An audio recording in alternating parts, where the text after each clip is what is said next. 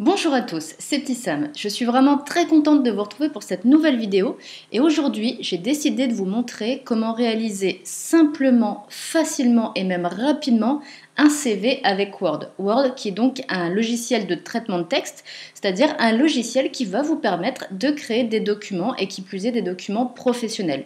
Donc on commence tout de suite, on va sur Word et voilà ce qu'on obtient quand on va sur Word.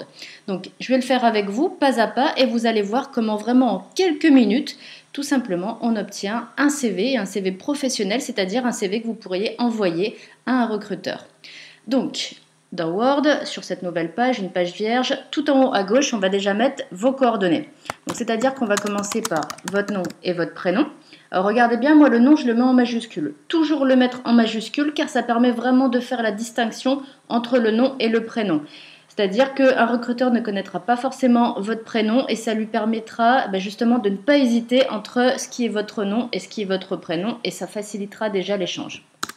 Ensuite, eh bien, votre adresse. Donc l'adresse, vous allez la mettre sur deux lignes, c'est-à-dire euh, sur la première ligne, le numéro de la rue plus la rue. Voilà. Et sur la deuxième ligne, eh bien, vous mettrez le code postal et votre ville. Ligne d'en dessous, vous allez mettre euh, votre numéro de téléphone.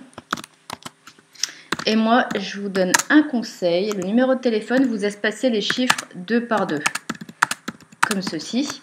Comme ça, ça va vraiment euh, faciliter la lecture du recruteur. Ça va lui permettre aussi de ne pas se tromper lorsqu'il va composer votre numéro pour vous appeler pour un entretien d'embauche. Car ce serait vraiment dommage qu'il fasse une erreur, qu'il tombe sur quelqu'un d'autre et finalement que vous n'ayez jamais l'appel du recruteur. Ensuite, puisqu'on est dans les coordonnées, bien sûr, vous faites figurer votre mail car beaucoup d'échanges euh, aujourd'hui entre un recruteur et un candidat se déroulent par email. Euh, donc ça c'est pour la partie en haut à gauche. Maintenant en haut à droite, eh bien vous allez faire figurer votre date de naissance. Alors, vous pourriez tout à fait, à la place de la date de naissance, faire apparaître votre âge. Ce qu'il y a, c'est que si vous faites apparaître votre âge, il faut bien penser à le changer tous les ans. Maintenant, effectivement, avec la date de naissance, le petit inconvénient, euh, c'est que le recruteur doit calculer votre âge. Mais voilà, si vous voulez vous éviter des oublis et surtout de devoir rechanger régulièrement la date de, l'âge, eh bien justement, vous mettez la date de naissance. Ensuite, en dessous, faites apparaître éventuellement si vous possédez le permis, par exemple donc permis B. Et si vous avez un véhicule, il faut absolument aussi le mentionner car c'est vraiment un atout. Si vous avez un scooter, eh bien vous mettez euh, deux roues, deux roues motorisées. Comme ça, au moins, on sait que vous êtes davantage mobile que si vous étiez uniquement, par exemple, en transport en commun. Voilà, je fais une petite modification pour enlever les espaces, car là, les espaces sont grands, et on va continuer tout de suite. Voilà, donc là, c'est la partie haute du CV.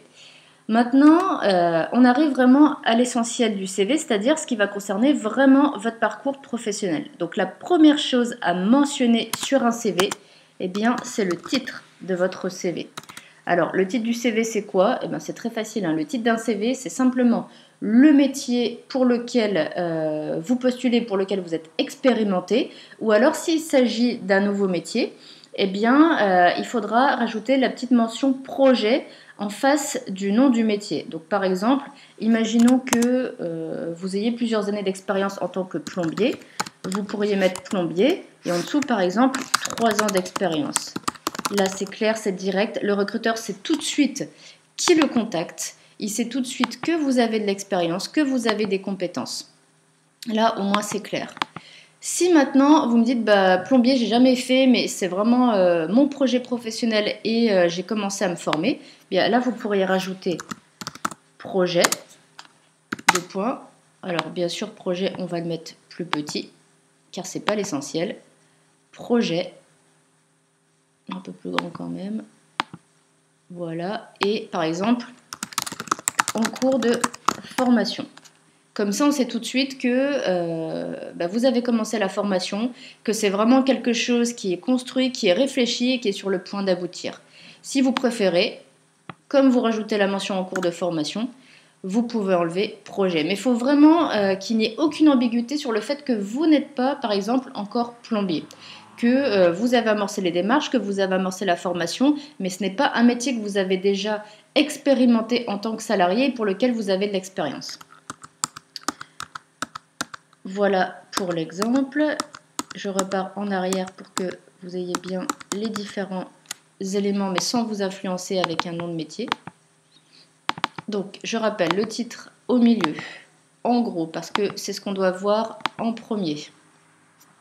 Je vous ai pas dit, mais moi pour la police, là par défaut c'est en Cambria. Moi pour la police, je préfère de loin mettre de l'Arial, car c'est une police qui est claire, qui est sobre, euh, qui passe très très bien, je trouve, sur un document professionnel comme un CV. Elle se lit très facilement et c'est vraiment l'objectif. Quand vous choisissez une police de caractère sur euh, un document professionnel comme un CV, optez toujours pour une police qui va se lire facilement. Surtout pas des polices trop petites ou trop en italique ou trop fines ou avec vraiment trop de, trop de fantaisie qui vraiment euh, va altérer la lecture. Il faut vraiment que votre CV puisse se lire très rapidement, très facilement. Donc une fois que vous avez mis votre titre, on va passer au paragraphe. Et le premier paragraphe, et j'insiste vraiment sur le fait que c'est le premier, le premier paragraphe qui doit figurer sur votre CV, c'est le paragraphe des compétences. Alors je sais qu'il y a beaucoup de personnes qui mettent euh, l'expérience en premier. Alors pourquoi moi je vous conseille de ne pas mettre l'expérience en premier? Tout simplement parce que l'expérience, euh, certes, ça fait partie de votre parcours, mais c'est quelque chose qui est passé. C'est l'expérience que vous avez eue, on va dire, jusqu'à ce que vous quittiez votre dernier emploi. Donc c'est vraiment du passé, même si elle a existé, cette expérience. En revanche, les compétences, ça fait toujours partie du présent. Ça veut dire qu'il s'agit des compétences que vous pouvez apporter dès aujourd'hui à une entreprise si elle vous recrute. Donc c'est vraiment actuel et c'est pour ça que ça va, euh, en termes d'importance, que ça va au-delà du paragraphe expérience. Et vraiment sur le CV, on va du plus important au moins important, du haut vers le bas. Donc déjà le titre, en dessous les compétences. Les compétences, eh bien, euh, moi je vous conseille d'en mettre 6, c'est pas mal c'est pas mal. Euh, par contre, moi je vous conseille également d'alterner entre euh, savoir-faire et savoir-être, c'est-à-dire des compétences techniques et des compétences davantage comportementales, c'est-à-dire liées à votre personnalité et à qui vous êtes euh, humainement en entreprise. Alors, plusieurs options pour les compétences, comme il s'agit d'une liste, vous pouvez les faire apparaître avec des puces, comme ceci. Si maintenant euh, vous me dites oui, mais moi sur mon CV j'ai beaucoup de choses à mentionner donc j'aurai pas la place, vous pouvez euh, faire le choix, si je le retrouve ici, voilà, faire le choix euh, de le faire apparaître sous forme de colonne comme ceci. Vraiment, c'est à vous de voir. Moi, je laisse en colonne parce qu'un CV, on va dire que ça, ça, se développe et ça se remplit progressivement au fil d'un parcours. Donc ça devient rapidement compliqué de le faire tenir sur une page et j'aime beaucoup l'astuce des deux colonnes pour les compétences car c'est vraiment un gain de place. Là le fait d'avoir mis les compétences sur deux colonnes, ça me permet justement de gagner trois lignes, c'est-à-dire les lignes des compétences 4 à 6. Donc pour moi c'est vraiment une super astuce et je la recommande systématiquement. Une fois que vous avez fini avec le paragraphe compétences, eh bien il est temps de passer au paragraphe expérience. Alors, en fonction de, votre choix, de votre goût, vous pouvez tout à fait euh, mentionner expérience professionnelle, mais clairement, ça ne change absolument rien. Si vous laissez juste expérience, on sait qu'il s'agit d'expérience professionnelle. Donc maintenant, comment la mentionner, cette expérience? Eh bien déjà, il faut commencer par mettre de quelle date à quelle date vous avez réalisé l'expérience que vous allez mentionner. Ensuite, il faut mettre l'intitulé du poste que vous avez effectué très important, on commence par l'intitulé. C'est ce qui va euh, vraiment intéresser le recruteur en priorité dans le paragraphe expérience. Donc, on ne commence pas par écrire, euh, par exemple, dans quelle société vous avez travaillé. Non, quel métier vous avez effectué. Ensuite, eh bien justement, le nom de l'entreprise, pour qu'on sache bien sûr dans quelle entreprise vous avez travaillé et euh, globalement dans quelle ville vous avez travaillé? Alors, Je sais qu'il y a des personnes qui vont travailler ou qui ont travaillé dans plusieurs villes. Là, vous pouvez faire le choix soit euh, de mentionner la ville du siège de l'entreprise, soit de mentionner par exemple le département si vraiment vous avez été amené à intervenir dans plein de villes d'un même département. Alors maintenant, euh, une chose très importante également, l'intitulé du poste, s'il vous plaît, vous le mettez en gras. Pourquoi? Parce que euh, si vous avez regardé d'autres vidéos que j'ai pu faire sur le CV, je vous ai déjà dit, un CV, ça ne se lit pas. Un CV, ce sont juste des mots-clés et des informations clés qui doivent sauter aux yeux du recruteur. Je rappelle également qu'un CV, en moyenne, un recruteur, il passe seulement 30 secondes pour le lire, parfois moins. Ça veut dire que euh, si d'entrée de jeu, le recruteur ne voit pas une information, par exemple comme le titre ou comme les compétences, qui vont capter son attention, au bout de quelques secondes, il peut le jeter à la poubelle parce qu'il n'y trouvera pas de choses intéressantes.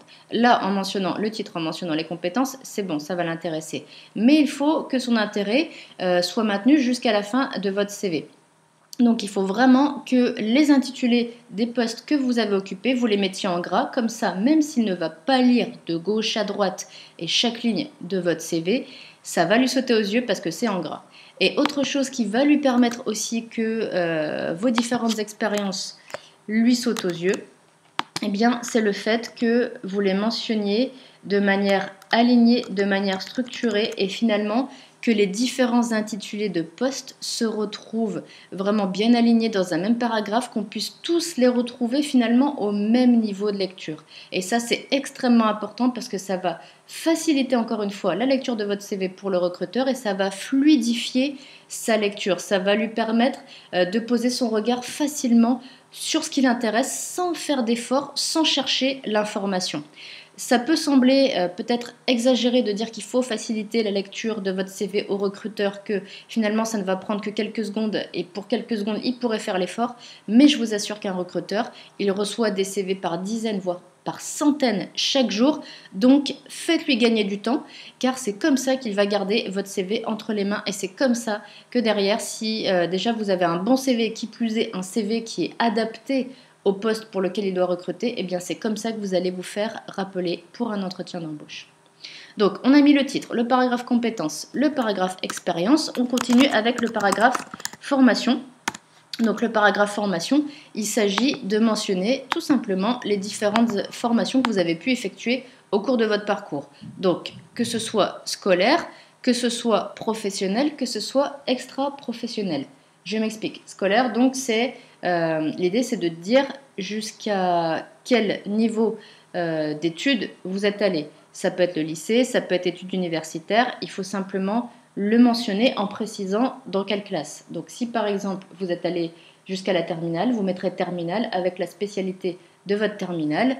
Euh, de la même manière que pour expérience, on avait mentionné le nom de l'entreprise, et bien là, vous allez mentionner le nom du lycée et la ville. Si vous avez fait des études universitaires, les dates, le nom du diplôme que vous avez passé, le nom de l'université ou de l'établissement scolaire dans lequel vous êtes allé et la ville. Maintenant, si vous avez fait des formations professionnelles, eh bien, c'est toujours pareil, on met les dates, on met le nom de la formation, ensuite le nom de l'organisme de formation et encore une fois la ville. Et s'il s'agit euh, de formations extra-professionnelles, par exemple, il y a des personnes euh, qui font le choix de passer une formation sur les gestes de premier secours. Eh bien, comme tout à l'heure, vous mettez les dates, le nom de la formation, le nom de l'organisme euh, qui vous a fait passer la formation et le nom de la ville dans laquelle ça s'est déroulé. Donc moi, je vais simplement faire un copier-coller. La seule différence, c'est qu'au lieu de intituler du poste, je vais marquer intitulé de la formation. Remarquez que je laisse également l'intitulé de la formation en gras. Au lieu du nom de l'entreprise, je mets le nom de l'organisme de formation et la ville. Si, encore une fois, c'était une formation scolaire, bien vous mettrez le nom de l'établissement scolaire. Et vous faites ça donc, encore une fois, pour chacune des formations que vous avez effectuées. Une chose très importante pour euh, l'ordre dans lequel vous allez faire apparaître vos expériences et vos formations en haut, sur la première ligne. Commencez toujours par la dernière expérience que vous avez effectuée. Donc là, par exemple, on est en 2019, la date à laquelle, enfin l'année à laquelle je fais cette vidéo, c'est 2019. Si vous avez euh, réalisé par exemple une expérience en 2016, une expérience en 2018, eh bien ce qu'on va trouver sur la première ligne, c'est l'expérience en 2018 et seulement en dessous l'expérience en 2016. Ça veut dire que tout à la fin de ce paragraphe, en dernière ligne, on verra l'expérience qui a été la première de votre vie, le premier travail de votre vie. Et pourquoi on fait comme ça? Parce que le recruteur, il va chercher tout en début de paragraphe les dernières expériences que vous avez effectuées, car c'est ce qui l'intéresse le plus. Euh, clairement, pour une personne qui est adulte, qui a 30, 40 ans par exemple, euh, il ne va pas s'intéresser au premier travail de votre vie. Maintenant, si vous êtes quelqu'un qui démarre dans la vie active, c'est sûr que le premier travail de votre vie va être très important dans votre parcours, euh, qui aura forcément peu d'expérience, mais quoi qu'il en soit, il faut toujours mentionner et les expériences et les formations en commençant par la dernière effectuée. Et tout en bas de ce paragraphe, donc, on verra le premier métier ou la première formation de votre vie. Et ça, ça s'appelle l'ordre antéchronologique, du plus récent jusqu'au plus ancien. Allez, on a presque fini le CV. Il nous reste à mentionner euh, les informations complémentaires. Donc les informations complémentaires, qu'est-ce qu'on y trouve? Eh bien, on y trouve, par exemple, les euh, langues que vous pouvez parler. Attention, si vous mentionnez d'autres langues que le français, précisez quel est votre niveau de maîtrise de ces langues. Est-ce qu'il s'agit juste euh, des notions scolaires? Est-ce que c'est un niveau intermédiaire Ça veut dire que vous comprenez la langue? Est-ce que euh, finalement vous en avez au contraire une excellente maîtrise et que vous parlez couramment cette langue? Il faut vraiment qu'on sache tout de suite identifier vos compétences. Donc c'est pour ça qu'il faut préciser le niveau de maîtrise que vous avez des différentes langues que peut-être vous parlez. Outre les langues, on peut trouver également les sports. Donc sport, c'est important sur un CV parce que euh, ça va révéler des compétences, des capacités que vous avez, que vous pouvez remobiliser euh, dans le contexte professionnel. Par exemple, si vous êtes quelqu'un qui fait de la course à pied, euh, et que vous faites un métier où il faut aller vite ou alors où il faut être régulièrement debout, eh bien le fait de mentionner que vous faites de la course à pied, ça prouvera que justement vous savez rester debout pendant plusieurs heures et que vous avez de l'endurance. Donc forcément, ça peut servir pour tout un tas de métiers. Et ensuite, eh bien, euh, mentionner les loisirs. Les loisirs, là aussi, c'est très important. Comme pour le sport, ça révèle des compétences que vous développez en dehors du travail. Par exemple, euh, quelqu'un qui fait de la peinture euh, juste pour son loisir, juste à la maison pour le plaisir, eh bien, c'est quelqu'un qui a probablement le sens du détail. C'est quelqu'un qui est probablement patient, parce qu'un tableau, par exemple, ça ne se fait pas en deux minutes. Euh, c'est quelqu'un qui a peut-être une certaine ouverture d'esprit pour aller euh, justement découvrir les différentes formes d'art, les différentes époques, pour voir les différentes tendances artistiques. Donc vraiment, ça révèle tout un tas de capacités que vous avez et même si vous les développez en dehors du travail, ces capacités comme elles sont en vous, elles font vraiment partie de vous, eh bien consciemment ou inconsciemment, vous pouvez les réutiliser dans votre contexte professionnel ou dans un futur contexte professionnel. Donc il faut vraiment pas négliger ce type d'informations. Je sais que pour certains ça peut paraître surprenant de mentionner des loisirs dans un document professionnel et qui plus est le CV, mais je vous assure que ça révèle des compétences et le recruteur euh, saura voir justement ce genre de compétences. Voilà, donc vous voyez qu'en quelques minutes, on a fait un CV qui est vraiment professionnel et qui va être prêt à envoyer au recruteur dès lors que vous l'aurez justement adapté à votre parcours, à votre profil. Mais là, vous avez vraiment euh, de quoi faire une candidature très claire et qui va vraiment permettre au recruteur de voir les informations qui vont l'intéresser tout de suite et qui, euh, qui vont vraiment capter son attention. Voilà, c'est fini donc pour le CV euh, fait avec Word. Si vous avez des questions, n'hésitez pas à me les mettre en commentaire, j'y répondrai avec plaisir. Et si vous voulez plus d'informations, n'hésitez pas également à aller sur mon site internet sefairerecruter.fr, également à voir bien sûr les autres vidéos de ma chaîne YouTube. Et justement, moi je vous dis à bientôt dans une prochaine vidéo.